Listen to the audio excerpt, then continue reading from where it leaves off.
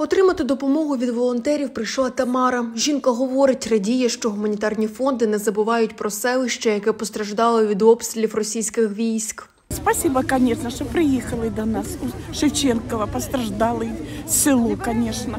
Помощь хорошую дают, и хлебушек, и чай горячий, и бутерброды, и в кулечке вот сколько дали. Говорю, спасибо им очень большое, что за нас волнуются. Самое главное сейчас, чтобы свет, газ, газ.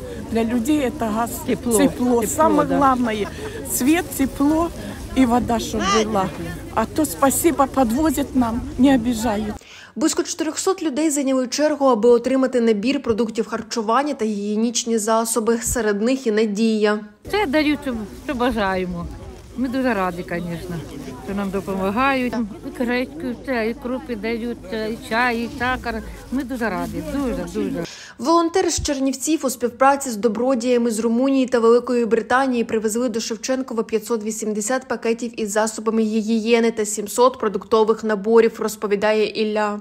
Помогаем э, гуманитарную помощь, э, печки, продукты, все необходимо. Гигиена, который мы сегодня тоже снова приехали тут в Николаеве. У нас фонд не очень большой, но очень так расширяется для помощи людям, которые нуждаются в основном, в основном э, эти, которые пострадали от войны. Сегодня мы, с нами приехали братья из Англии, которые подготовим ходоки, чай, каву горячие, которые людям что привезли еще гигиену, привезли еще по буханку хлеба, одеяло, есть у нас буржуйки, э, есть генератор, который нуждаемся. Також 24 січня до Шевченкова доставили 22 тони гуманітарної допомоги з Німеччини, питну воду, яку відразу роздали жителям, крупи, печиво та дитячий одяг, розповідає Віталій Варяниця.